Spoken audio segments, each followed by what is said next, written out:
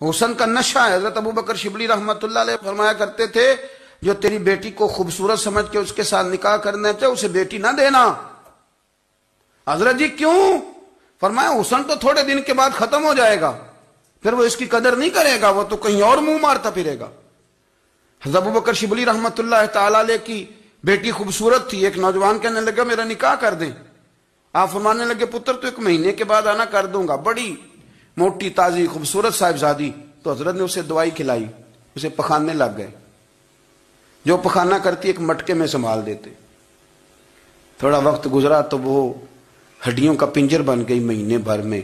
दस्त इतने आए कि कमज़ोर हो गई। तो तब बकर शिबली एक महीने के बाद नौजवान को बुलाया फरमाई इधर रात निकाह करूँ। बच्ची दिखाई तो वो कमज़ोर बिस्तर पे पड़ी। फरमाया, शादी कर कहने लगा, इसे नहीं मैंने करनी फरमाया ये वही है। कहने लगा, जी नहीं, फरमाया, तू तो कहता था, मुझे इश्क है। किधर गया तेरा इश्क? कहने लगा, हज़रत साहब, आप कैसी बात कर रहे हैं? फरमाया, इधर आ फिर।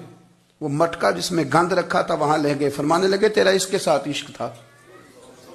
ये तेरा इश्क। फरमाइश तो मैं चार दिन रोटी खिलाऊँगा, फिर तंदुरुस्त हो जाएगी।